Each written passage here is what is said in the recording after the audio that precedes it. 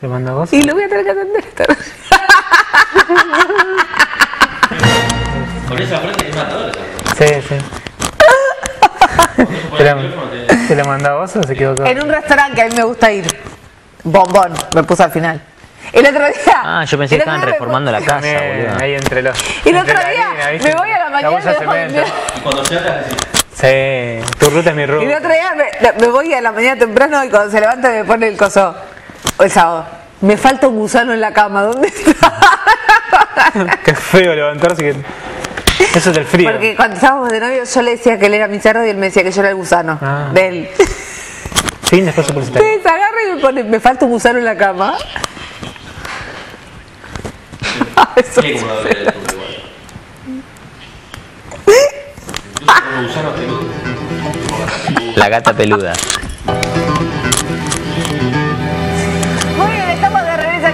Aquí señor Claudio Loyácona, el implacable. Otro integrante de la fauna Claro. infinita de M20. Ah, ¿cómo andás, Bien, Claudio? acá andamos, acá andamos, todo muy bien. ¿Te veo cada vez más?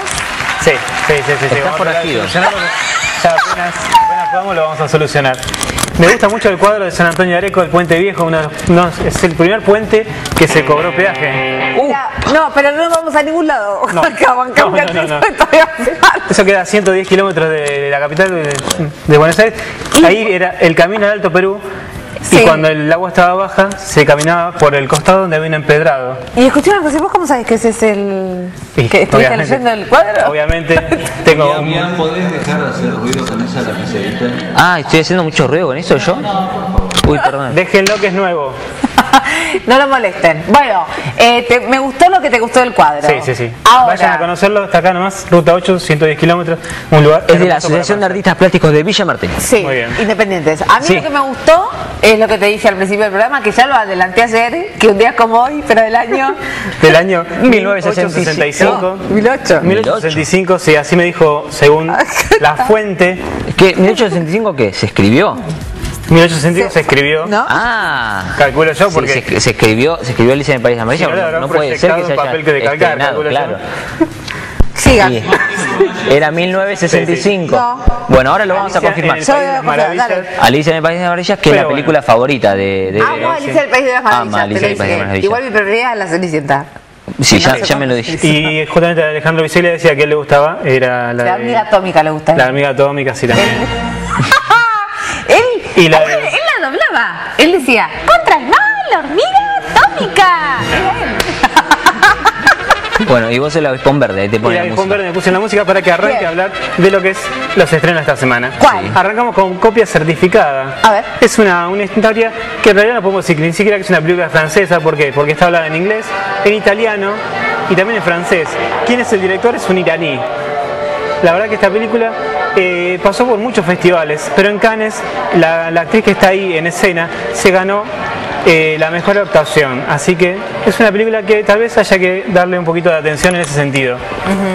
Después en, lo- en el resto, bueno, es un poquito rara, tal vez el tipo de ritmo que tiene, porque bueno, hay que tener en cuenta que es un iraní que está haciendo una puesta en escena en el cine europeo Ajá. situado en el norte de, perdón, en el sur de la Toscana, un lugar donde la gente va a enamorarse y a casarse. En este caso, ella es una, una persona que tiene galerías de arte y él es una persona que va a hablar sobre los libros. Los libros que hablan sobre justamente las copias y las cosas reales. Una película que vale la pena ir a ver si te gusta el cine arte, si te gusta eh, hablar sobre el amor y también si te gusta hablar sobre las cosas reales y las copias.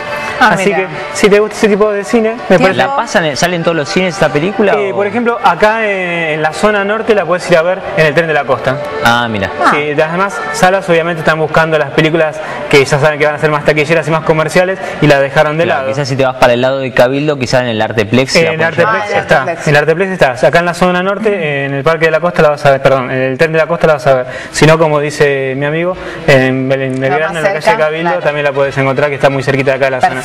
Para mí, esta película Sí. se merece esta nota y es, no está tan mal. Bien, no bueno, es que escúchame. Él Es más cartel te realista. denuncia, Claudio. Mira, dale Está vuelta. sí. Porque es no, no, no, no, no, yo Sí, porque es una aparte- especie de comparación. Sí, Porque sí, sí, mirá lo que se es cara. pasando los años y la cara va, sigue igual. Sí, sí, sí. Ese es el HD. Es el HD que fue- me, fue, me fue jugando en contra. No está chocho con el HD No, no, no. Yo el HD me jugó en contra. Y Bueno. se- seguimos.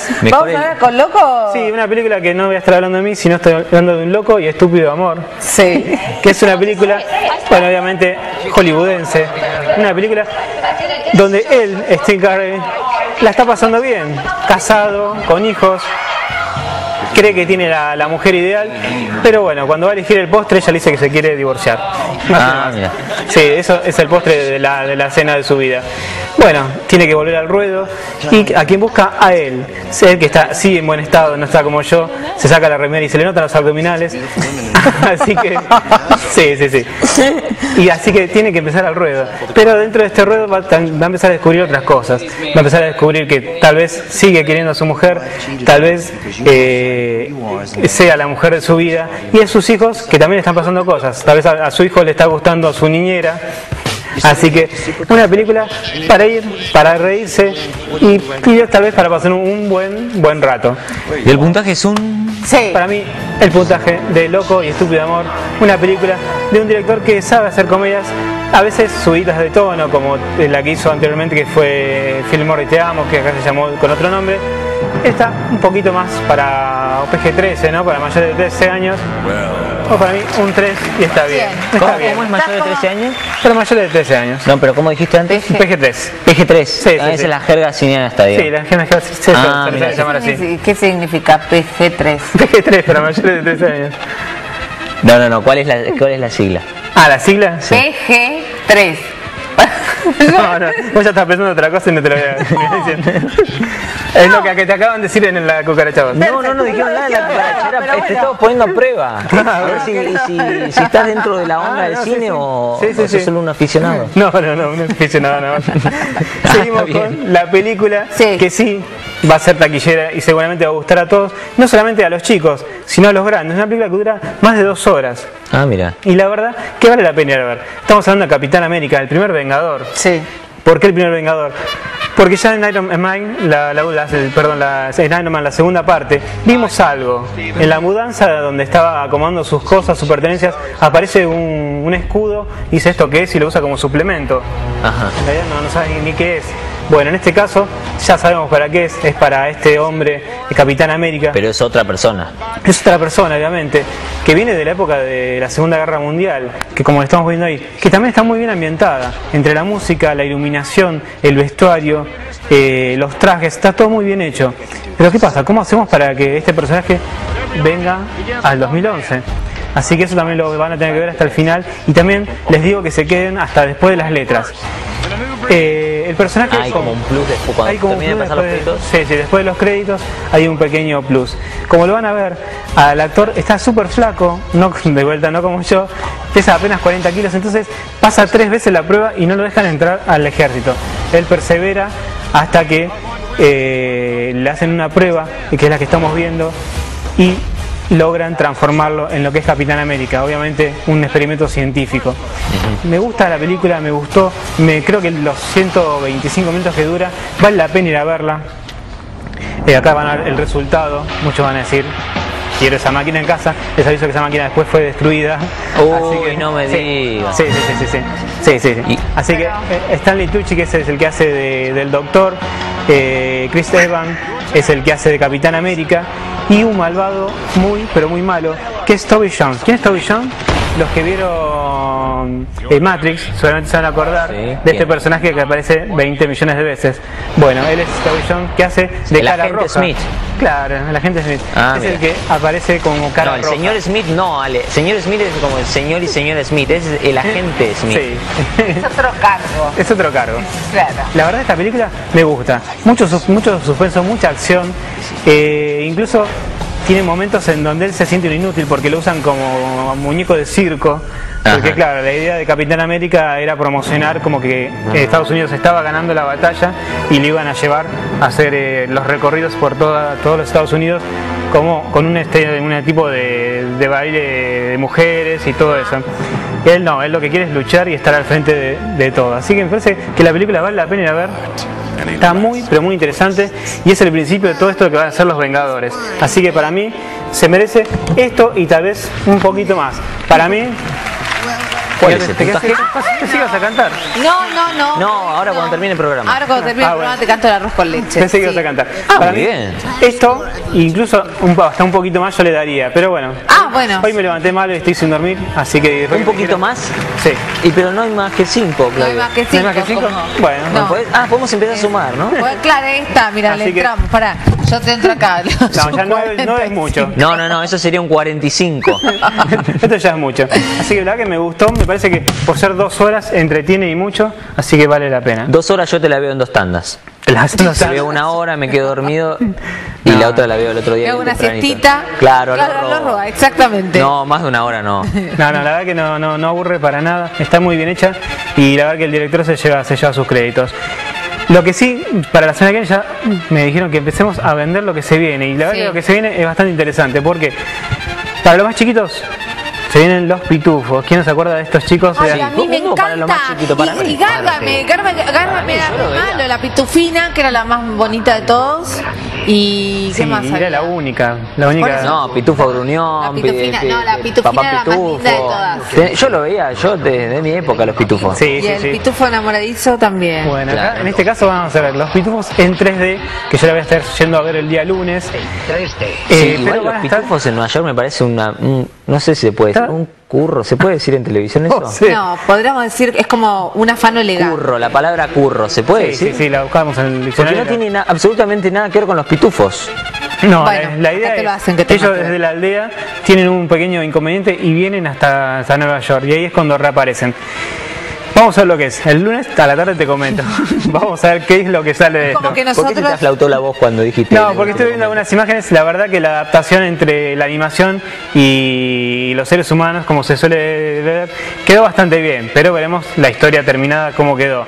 Lo que sí vi y me gustó muchísimo es Super 8. Super 8 es Otra película. Es otra película.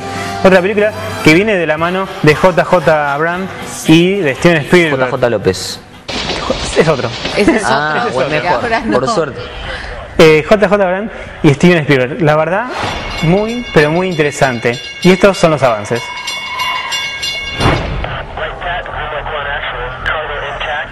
Así, un tren que se acerca, Sí, unos chicos tratando de filmar una película de zombies sí. con una cámara del Super 8 y esto.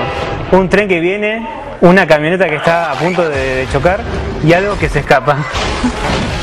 Para mí, esta va a ser la película de la semana que viene, sin lugar a dudas. La verdad que yo creo que JJ Abrams, si bien tuvo que ver, eh, creo que lo que más tuvo que ver acá la mano de, de Spielberg, sin lugar a dudas, porque es él en todos los detalles.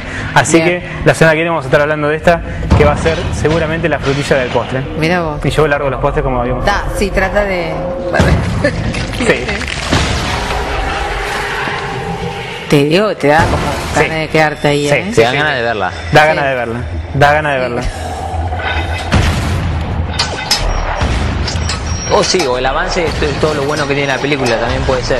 No, Esa es otra este caso- Esa como la primera que habías nombrado, que no me acuerdo si era francesa o de dónde era, que también el tráiler era como, como sutil, digamos. Sí, Ella pintándose los labios. Sí, A bueno, igual si ese algo- no me llamó la atención. ¿No te llamó la No. atención? Ah, a mí sí. No, no. Yo, yo creo que lo de la primera que nombré quizás era así, como vos decís, muy sutil, pero está muy bien cuidado todo lo que es la, la fotografía, el recorrido, obviamente, bueno, la Toscana tiene ya una, una cosa muy especial, ¿no? Por algo se siguen yendo a filmar ahí. Eh, creo que este año es la tercera película que vengo diciendo que se filma en la Toscana.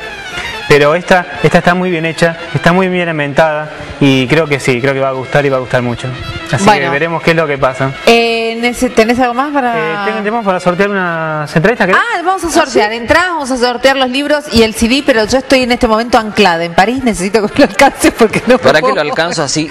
Ah, bueno, estamos como queremos. Él lo agarra con los pies, yo no me puedo mover. No tiene que poner un baño acá en el estudio, así no nos tenemos que dejar Acá hay gente que no está bien de la cabeza y se va acá atrás a hacer ruido cuando nosotros estamos trabajando. Sí, así- así Te digo, no. así no. Así no. Saquemos para la entrada de. Para ver a Simba, el Rey León, sí. que estuvieron el otro día los chicos acá. Sí, y es verdad. Se Ah, una bruja re mala. ¿Era la bruja mala eso? Sí, la bruja Eh, no, no, me acuerdo eran, cómo se eran llamaba. cuentos para. Cuento para soñar. Para soñar. Para, y el Simba el Rey León Simba el Rey León. No, Simba es la que estaba Jenny.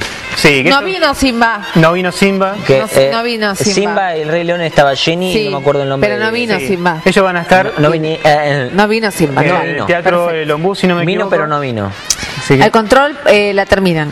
Perfecto. Mm, no sé si tiene Vamos con no eh. Guillermo de Olivo. Ah, pero no hay, pre- no hay teléfono. No. No hay teléfono. Vamos con otro porque no hay teléfono. Lamentablemente. Sí. Vamos. Bueno, ahí va. Esta sí tiene teléfono. Esta sí tiene teléfono. Ay, Ailén de Ballester. Ailén de Ballester. ¿Será Ailén? No, no sé. una- una- Ailén de Ballester. Porque tiene más de 30 actores en escena, vestuarios. Porque vos decís, ay, será Ailén, pero. Ah, no, ¿qué pero Ailén? para un poquito. Ailén es la chica que vino a Claro, bailar Ailén es la chica que vino a bailar allá. Pensaba, ¿saben qué? Es de Castelar, así que se callan la boca. No es Ailén de ayer. Perfecto. Ailén de Ballester, entonces se va a ver. eh, Se va a ver eh, el Rey Simba, el Rey Simba, León, el Rey en León. el Teatro Don Bosco. Sí. Que es una puesta de escena muy, pero muy interesante de un director 30 que sabe... actores en escena. Sí, 30 Más, dijo un de poquito 30, más. Más de 30, sí. 30. porque- Sacame otro para el, el Compass Disc, para el Long Play, Acá está, para Valeria el, Lynch, el o de todo o vinilo. Claudio Loyácona No, de... no dice Claudio Loyaco. ¿Qué te gusta Valeria Lynch? Dice, Es una grande. sí. Paola de San Martín se Ay, lleva mira, el compact para ella, las princesitas y el rey, que no es el rey león, ¿eh? es sino el rey, el rey papá, que está ahí en, en la casa. Y ¿cuál, es- ¿cuál es la clásica de Valeria Lynch? Más me das cada día más. No puedo cantar. Ah, Ahora entiendo por qué se rompen los micrófonos. Vamos, necesito más. Sí. Para los libros de Fabio. Más vale entregar temprano que estirar en vano. Sí. Sí, escuchame una cosa. Este es Fabio Fusaro dice mi exnovia, como actor luego de una ruptura, cómo Igual recuperarla. este, cómo este libro yo lo, yo lo veo bastante leído. De hecho, acá tiene una marca de, de café. No sé Sí. si lo estuvieron leyendo en producción. Ah, para que no me estaban enfocando y yo estaba No es el papel. café. Poquito, que Pará. estamos terminando con el sorteo. Este es un programa serio. por Sony favor. 56, no nos molestes. No tiene teléfono, No te- Beatriz. oh, Dios mío, chicos, por favor. Si no le ponen el teléfono, ¿eh? Beatriz. No puedo. Bueno, vamos con. por favor. Igual a Beatriz no le iba a servir. Sí, saca uno, o saca uno no que sea un, ¿ves? varón. Mira, no hay teléfono. Me quiero morir. Dale. Acá es una declaración de amor, es larguísimo. Es una declaración. A ver. A ver. Tiene teléfono, tiene 90 años. Oh, no tiene Ah, teléfono. igual te iba a costar, con 90 años. Claro, hay que ponerle el teléfono, si no, no podemos llamar, amores míos. Esta me, me encanta. Otro sin teléfono. Oh, bueno, pero Bueno, no, no, no, así no. Así no. Ya ni lo mostremos. Vamos con el próximo. Este sí tiene teléfono. Este sí. tiene teléfono de Carapachay. Estela de Caparachá. Estela de Carapachay. Muy bien. De Caparachá. Este. Me encanta. No Acá. me gusta. ¿Sabes qué no me gusta decir Carapachay? A mí me gusta decir Caparachay. Eso, mi exnovia de. Fabio Fusaro. Ahí está. Está muy bien. Muy bien. Este para Estelita. Uno más. Only Walmart. Tenemos mi novia, manual de instrucciones de, también de Fabio Fusaro. Para los chicos que lo Qué dejaron. bien, qué bien que le habrá ido con, con las chicas, ¿no? Este muchacho. A este Impecable. no se le fue bien con los sí libros. tiene teléfono. Susana de Villa Martelli con teléfono, se lo estoy tapando ahí para que no se vea. Susi de Villa Martelli, te llevas. Vos sabés que está bueno esto, porque cuando vos tenés a tu pareja, por ejemplo, si estás en busca, vos le decís, mira gordo, te convengo porque vengo con manual, ¿entendés? Mira, si lo querés dejar y no estás muy convencida, lo dejás y le regalás este librito. Me vas a reentender. Sí. Y si tenés marido, le decís, papi, escúchame, mira, para que se te solucionen todos los problemas. Si hay algo que no entendés, léete el libro. ¿Entendés? Oh. Muy bien. Perfecto. Y ahora vamos a sortear. Manual de el- adiestramiento Biseglia. El cuadro de Aderco. Yo no puedo creerlo. El cuadro del puente viejo de San Antonio cuadro-. Sí, que, no, el cuadro de Vicente. ¿Querés ir a mirar no. el cuadro? No, pues ¿Qué sí, vamos a sortear. No, no, los cuadros no se sortean, querido, Dios mío. Yo te digo una cosa, con gente como la que tenemos acá, uh, no Uy, podemos, no, importa, hace falta poco. Sorteamos el bla- No, eso es. Bueno, eh, les voy a decir una sola cosa. Nunca jamás hemos entregado tan en punto como el día de hoy, lo nuestro es impecable. Sí. ¿Tenés que venir más seguido? Por favor. No, tenés que faltar más seguido. ¿Sabes qué, Vero? Siempre quise estar acá para poder hacer esto, porque desde allá no puedo pegarte, porque estoy muy lejos. No, Dios quiere, nos encontramos mañana a las 21 horas, esto vamos a llamar M20. Gracias por la compañía de cada noche y disculpe esto que es M20.